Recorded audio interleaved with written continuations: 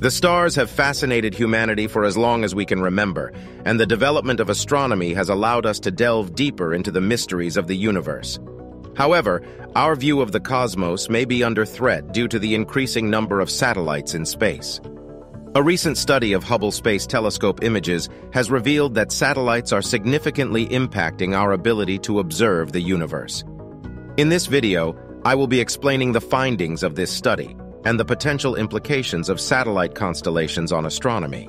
But before we continue, I would like to take a moment to express my gratitude towards our channel's supporters. Your generous support allows us to continue bringing you informative and quality content. We truly appreciate your contribution. Thank you so much for being a part of our community and for supporting our work.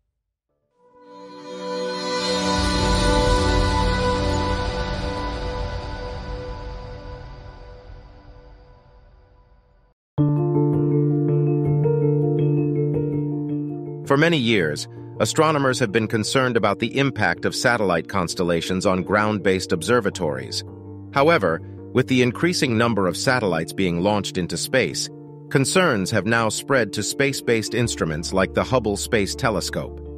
To investigate the impact of satellites on the Hubble's observations, a team of researchers, including over 11,000 citizen scientists from the Hubble Asteroid Hunter Project, analyzed images taken by the telescope between 2002 and 2021. They found that 2.7% of the images with a typical exposure time of 11 minutes were crossed by satellites.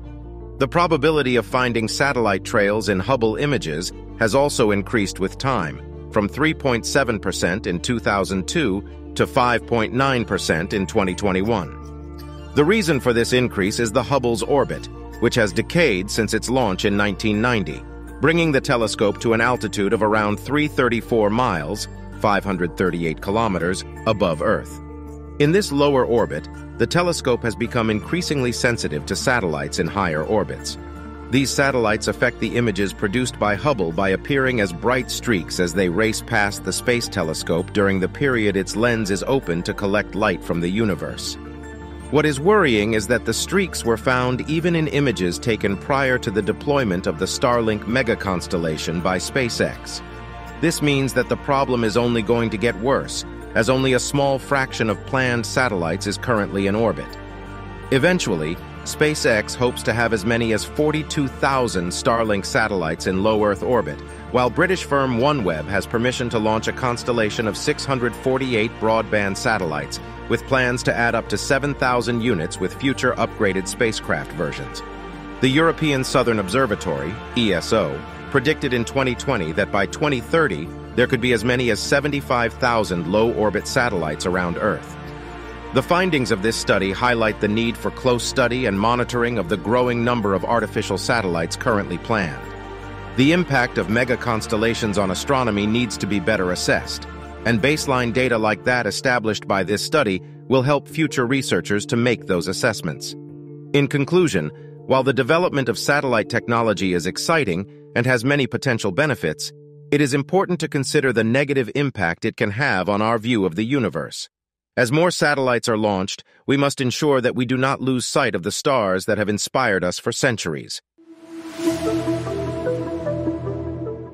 And now, it's time to answer one of your questions. This comment comes from Richard Leet Blues Harmonica Channel, who brings up a thought-provoking question about mapping the universe. Richard asks, how do you map an infinite universe? That's a great question, Richard.